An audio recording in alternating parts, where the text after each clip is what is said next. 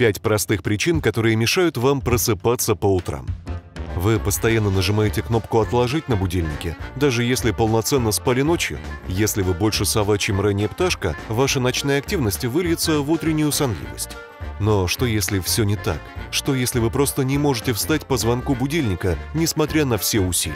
Продолжайте смотреть, чтобы узнать, что может вызвать эту загадочную ситуацию. И не забудьте нажать кнопку «Подписаться» и включить уведомления, чтобы присоединиться к нам на яркой стороне жизни. Неофициальный опрос показал, что 90% успешных руководителей – ранние пташки. К жаворонкам относятся Джек Дорси, генеральный директор Твиттера, который просыпается в 5 утра, Тим Кук, генеральный директор Apple, который встает в 3.45, и Индра Нуи, генеральный директор PepsiCo, которая встает в 4 утра. Ранний подъем позволяет этим и другим руководителям выкроить время на тренировки, просмотр новостей, здоровый завтрак и практики по осознанности, вроде медитации. Существует много причин, почему быть жаворонком может быть полезно. Если вы не вставали рано, но хотите этому научиться, следующая информация поможет вам лучше во всем разобраться. Номер 5. Генетика. Да, генетика может внести свою лепту в борьбу с ранними подъемами. Исследование 2016 года, опубликованное 23andMe, обнаружило, что склонность быть совой или жаворонком связана с наследственностью. Выяснилось, что у тех, кто предпочитает утренность, как о жаворонках говорят в исследовании, есть минимум 7 генов, связанных с уточным ритмом. Циркадный ритм – это, по сути, внутренние часы вашего организма, которые говорят вам, когда вставать, а когда спать. Так что генетика точно может стать причиной, почему вы поздно ложитесь и поздно просыпаетесь. Исследование также обнаружило, что из 89 тысяч участников 56% считали себя совами, и что женщины и люди старше 60 лет более склонны к утренности. Да, это реальное слово. Можете сами убедиться в этом. Так что если вы на самом деле хотите вставать ни свет ни заря, но не можете, всегда можете обвинить в этом родителей. Но справедливости ради им тоже, скорее всего, тяжело по утрам. Если вы подозреваете, что тут замешана генетика, можно настроить свои внутренние часы на ранний подъем, включая яркий свет, когда звенит будильник, и частично выключая освещение в вечернее время. Ваш циркадный ритм реагирует на разницу в количестве света, так что вы можете научиться быть жаворонком. Номер 4. Психическое здоровье. Если вопрос не в генетических факторах, другой причиной вашей утренней борьбы может быть атипичная депрессия – вы можете сказать, но это ко мне не относится. Я совсем не в депрессии, я счастлив. Как видно из названия, атипичная депрессия выглядит не так, как вы себе ее представляете. Люди, страдающие атипичной депрессией, могут иногда испытывать грусть, но их настроение становится заметно ярче, когда в жизни происходят положительные события. Они могут быть даже не в курсе, что подвержены этому состоянию.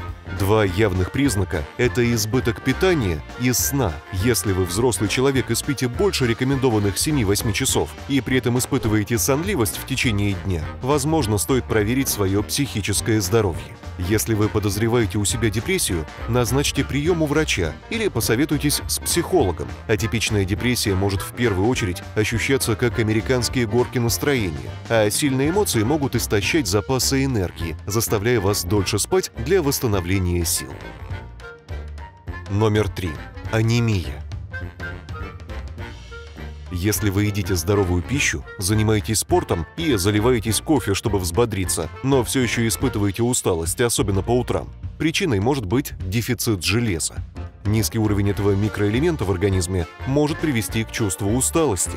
Если по утрам вы испытываете сонливость, и она не покидает вас весь день, возможно, вы страдаете анемией. Анемия может быть следствием неправильного питания, и люди, которые не едят листовую зелень или красное мясо, рискуют ее появлением. Если вы подозреваете у себя анемию, проконсультируйтесь с врачом как можно скорее. Ее легко вылечить с помощью врача и диетолога. Номер 2. Электроника. Ранний подъем всегда связан с качеством сна и тем, насколько поздно вы ложитесь. На качество сна может существенно влиять устройство, с которым вы не расстаетесь, пока бодрствуете – ваш телефон.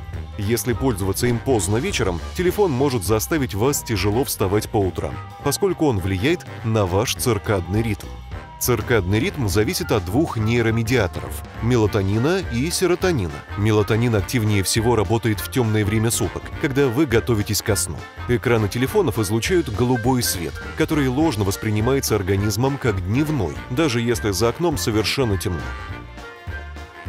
Так что если вы зависаете в соцсетях или проверяете почту перед сном, вам будет труднее уснуть, потому что свет телефона будет сдерживать производство мелатонина в организме. Это значительно затруднит ваше пробуждение.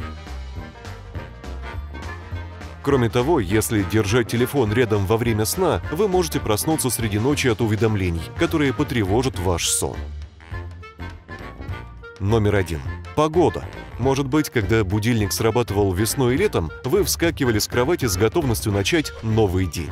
Однако с приходом зимы кнопка «Отложить» стала вашим лучшим другом. Кто бы не захотел остаться в кровати холодным зимним утром под уютным тяжелым одеялом. Не только температура мешает выбраться из кровати. Темное зимнее утро тоже вносит свою лепту. Зима приносит короткие дни и длинные ночи. Вы уже знаете, что для того, чтобы внутренние часы получили сигнал, что пора просыпаться, организму нужен солнечный свет. Когда солнца не видно, нам кажется, что нужно спать дольше. Поскольку зимой организм не получает достаточно света, уровень серотонина в крови естественным образом снижается, что приводит к потере энергии и резким перепадам настроения. Если вам внезапно стало сложно просыпаться, и так получилось, что изменения пришли на зиму, скорее всего, причина в этом. Хорошая новость в том, что если придерживаться привычного времени пробуждения, циркадный ритм в итоге перестроится, несмотря на темноту. Со временем просыпаться станет легче, даже несмотря на темень за окном. Есть множество положительных аспектов, связанных с утренним пробуждением. Исследование, проведенное 23andMe, показало, что жаворонки менее склонны к бессоннице, и обычно им не нужно больше 8 часов, чтобы полностью выспаться. Вдобавок, ранние пташки менее склонны к депрессии, и их индекс массы тела ниже, чем у сов. Если вам очень хочется быть жаворонком, попробуйте следовать этим рекомендациям. Лекарства вроде мелатонина, регулирующие сон, могут помочь, но всегда советуйтесь с врачом перед их приемом. Попробуйте световую терапию, чтобы привести в норму циркадный ритм. Поговорите с психологом, если страдаете от тревожности или депрессии, чтобы облегчить симптомы и улучшить сон. Выпивайте стакан воды сразу после пробуждения. Вода может помочь взбодрить организм лучше, чем кофе. Избегайте слишком активной деятельности перед сном. Начните расслабляться хотя бы за час до того, как отправитесь в царство Морфея. Итак, расскажите нам, попробуете ли вы изменить образ жизни, чтобы стать жаворонком? Или вы счастливы быть совой? Расскажите в комментариях. Не забудьте поставить видео лайк, поделиться с друзьями и нажать «Подписаться», чтобы оставаться на яркой стороне.